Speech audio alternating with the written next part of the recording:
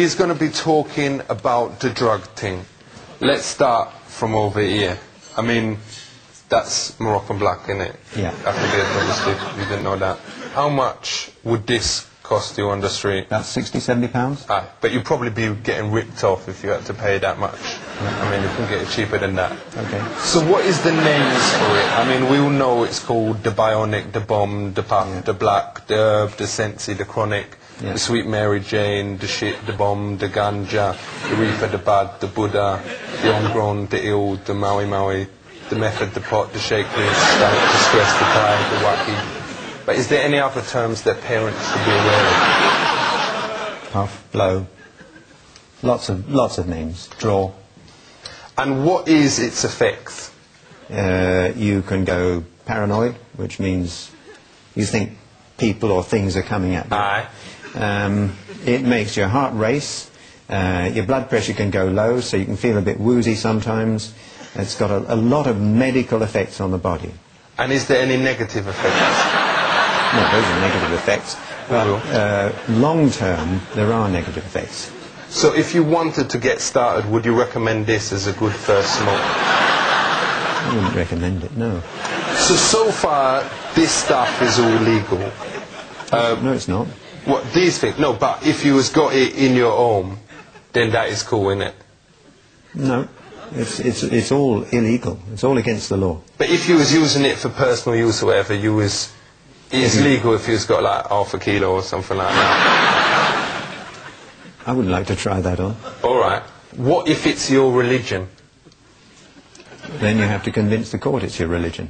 But let's say someone don't look like a Rasta, but they's got a couple of Bob Marley records, and he's got one of those hats with dreads attached or whatever. Do you think that that would get them off in a court?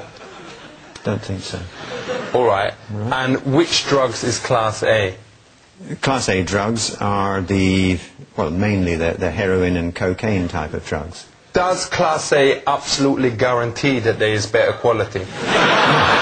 Nothing to do with quality. We have total crap. Okay. So what is these? Um, chemical name is 3,4-methylene dioxymethamphetamine, which is why a lot of people call it ecstasy. Ain't the most worrying thing about these though that it actually make you enjoy house music? Yeah, you enjoy music? Yeah.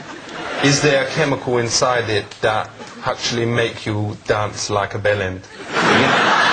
You, it makes you dance. What is that it's- chemical called? Well, it's, it is, it's, it's the ecstasy. It's the actual chemical itself. How many E's can you take in one night and still be safe if it if you has to do it? Some people can take um, two or three E's and no problems. Because I has never ever taken any drugs and you can test me piss. But I've got a mate called Dangerous Dave and I ain't gonna say his family name obviously. But he say that he has taken 22 E's in one night. Did he have a headache? Did he feel...